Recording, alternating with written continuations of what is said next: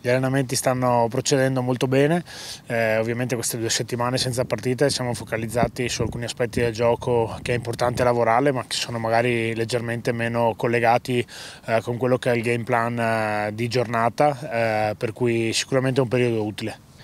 Ma il bilancio è positivo, eh, sicuramente avremmo voluto raccogliere qualche punto in più, eh, soprattutto nelle ultime tre partite.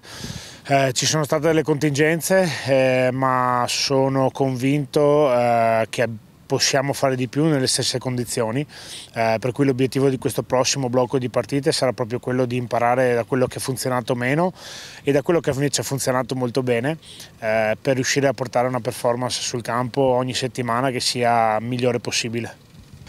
Ma credo che abbiamo giocato ovviamente in casa, abbiamo, siamo stati più efficaci, eh, abbiamo giocato delle partite migliori eh, a 360 gradi. Anche la partita dei Bulls eh, che ci è sfuggita negli ultimi 9 minuti in realtà è stata una partita che per 71 minuti è stata molto consistente. Ancora ci manca qualcosina per competere contro le migliori squadre perché alla fine Bulls eh, ha giocato la finale l'anno scorso, quest'anno vuole vincere il campionato per cui è una delle migliori squadre, eh, per cui è un punto di riferimento per noi. Eh, ma ci sono stati tanti aspetti positivi anche in quello, per cui mi è piaciuto il piglio della squadra, eh, come ha giocato, l'ambizione con cui ha giocato,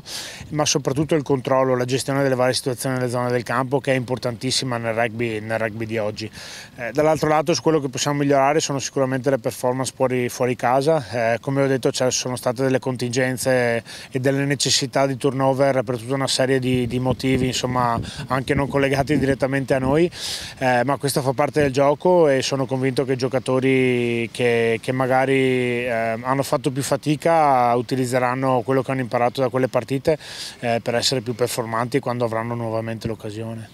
Ma ovviamente ci aspettiamo tanto dai nuovi innesti, sono tre giocatori di qualità, eh, Maglia, Talonatore, eravamo abbastanza corti di esperienza perché a parte Lucchesi e Nicotera ehm, con l'infortunio di S siamo rimasti un po' scoperti e purtroppo è una posizione in cui l'esperienza conta tanto, eh, credo che i giocatori giovani che abbiamo, Frangini e Rojo, stiano facendo una buona progressione ma ovviamente eh, serve tempo, per cui quello che mi aspetto è che sia consistente nelle fasi statiche e poi porti l'energia l'energia in campo in attacco e in difesa perché è un giocatore che ha nell'esplosività una sua dote. Eh, da parte di, di, Minozzi e Jacob ovviamente mi aspetto grande qualità, sono due giocatori di livello internazionale per cui sono convinto che aggiungeranno qualità alla nostra linea di tre quarti. In due ruoli diversi, Matteo può giocare sia ala che estremo, eh, Jacob può giocare sia 10 che estremo per cui all'occorrenza potremo, potremo ruotare molto le posizioni, eh, soprattutto con l'infortunio di Dare e Marin eh, di lungo, di lungo corso perché non saranno cose veloci e c'era necessità di essere coperti in questo